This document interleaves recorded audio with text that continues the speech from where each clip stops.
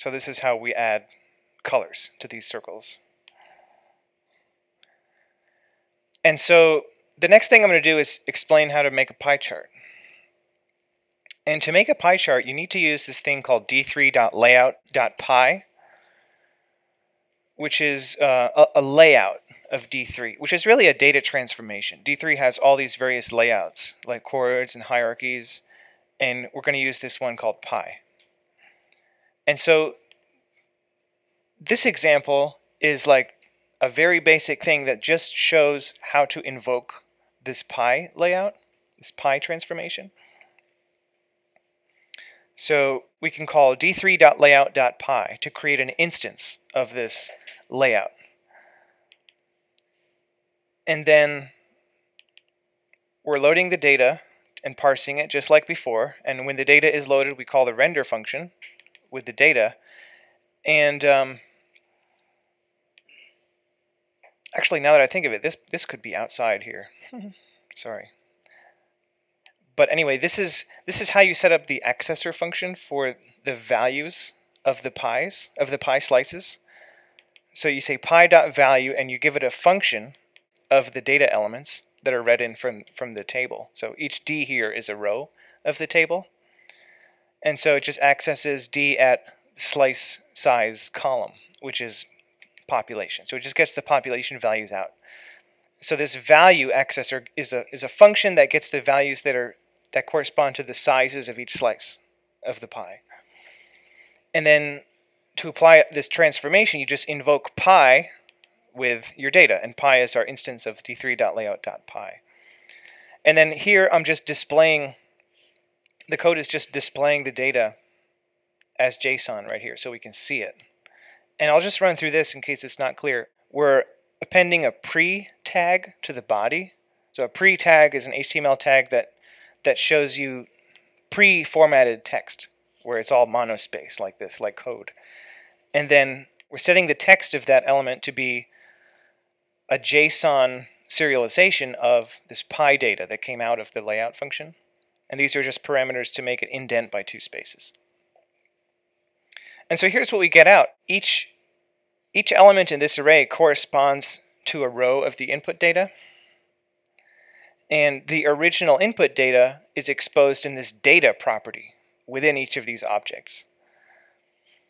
And the D3 pie layout adds these values. It computes these values and puts them in these objects. So value is just the same as population because we specified that as the value function. And this is really what the pie layout gives you. It converts everything to angles.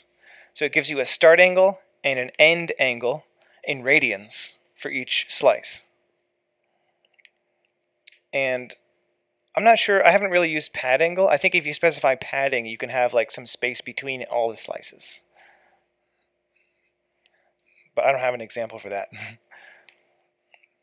so yeah, it gives you these, this is what d3.layout.pie does.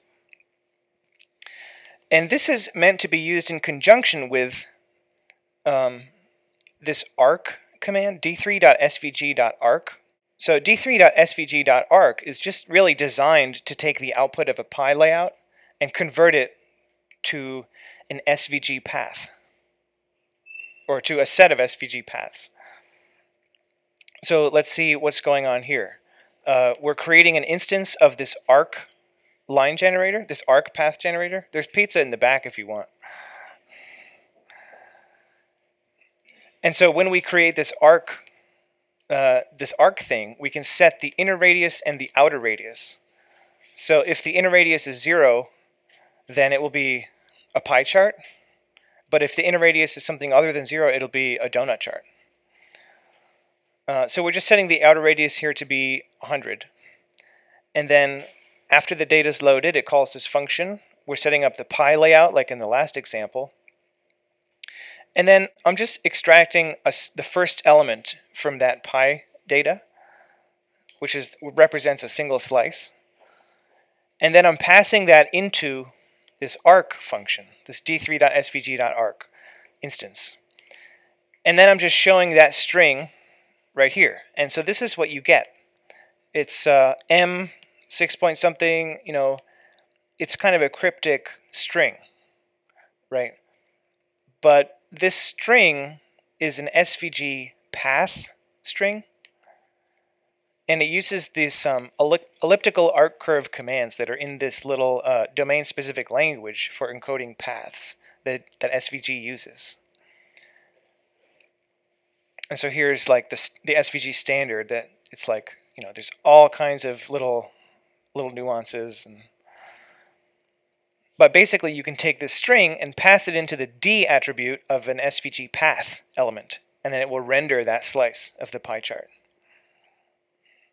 So this is what d3.svg.arc is for. And so here we put we put it all together and make an actual pie chart in this example. So let's take a look at what the code is doing. So let's see, setting up the x-axis and everything like before, this, this line of code adds a group element that will contain the, the slices of the pie chart.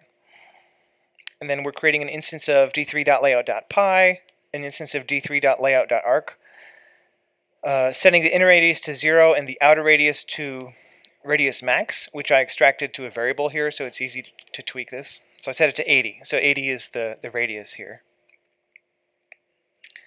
And then in the render function, we're setting the pie accessor function to be a function that extracts the, the value for the slice size column, which is set up at the top of this file to be um, population of each country. So we're invoking the pie layout to get this thing I'm calling pie data. Um, this, this line of code puts it in the middle. This will translate the pie uh, group to be in the middle of the screen. Yeah. Um, I think without this, it would be in like the upper left corner. And so we're taking the, that pie group element and transforming it by inner width over 2 and inner height over 2, which puts it in the middle of that the inner rectangle of the visualization inside the margin. So that's why it's in the middle. Uh, yeah, we're, we're not using the X scale like we were in the previous example.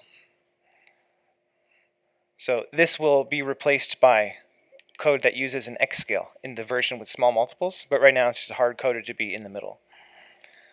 And uh, let's see this is the this is the D3 code that actually makes the pie chart. So pie-g, which is the, the SVG group element that will contain the slices, the select all path, because remember each slice is an SVG path element.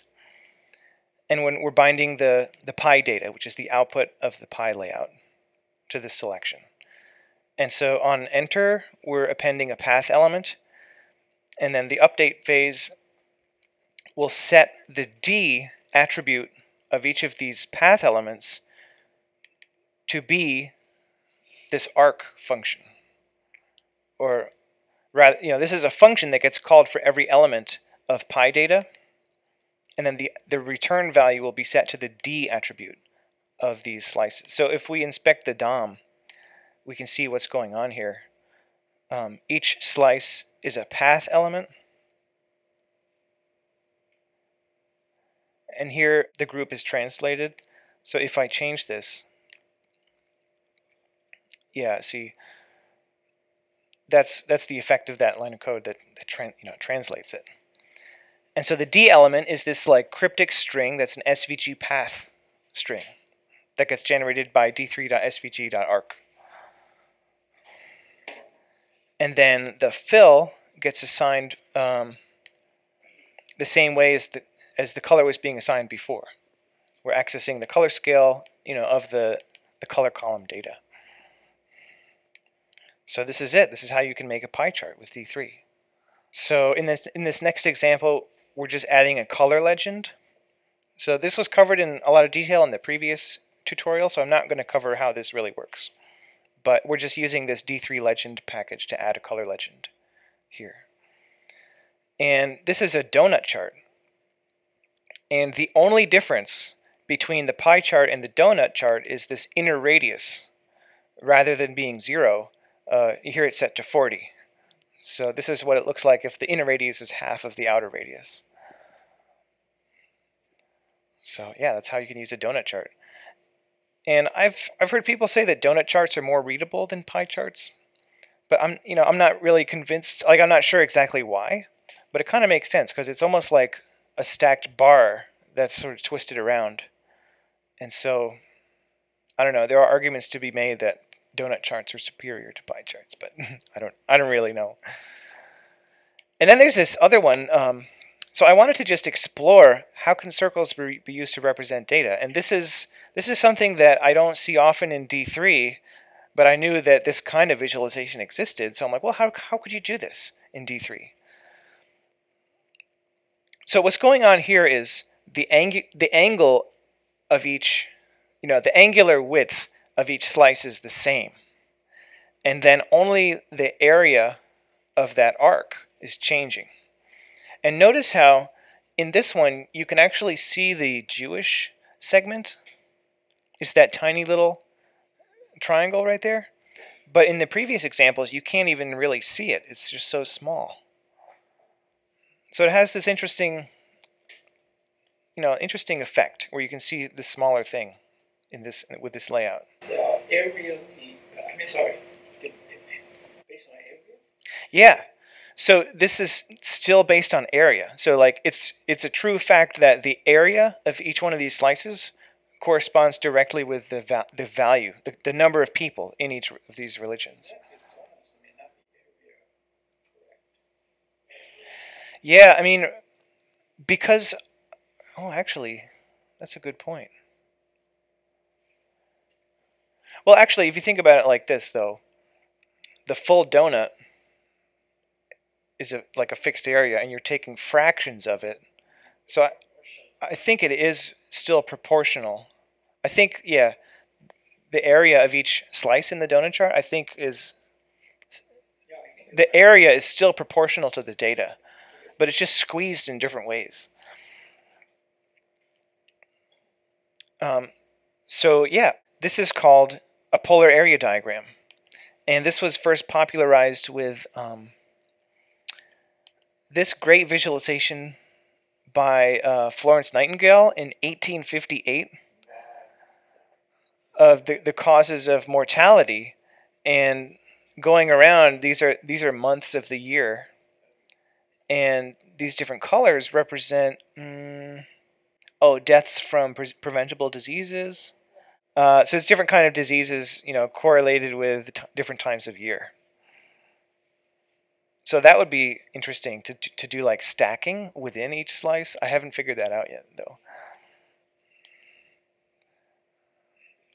So yeah, it's called a polar area diagram. And this is what the, the code looks like. So again, we have a pie group. I'm still calling it pie in the code. And um, the radius scale is still the same. It's a square root scale. Because if you think about it, if you adjust the radius of a slice, the area is still like proportional proportionally um, the area still corresponds to the data even if it's not a full circle. I'm pretty sure. So let's see. Uh, here this is the, really the only piece of code that's different between a pie chart and this this uh, polar area diagram is that the outer radius of the arcs is now a function of the data. And so the outer radius for each slice will be the radius column, you know, passed through the radius scale. And somewhere the angles are set to be constant. Here it is, pie dot value return 1.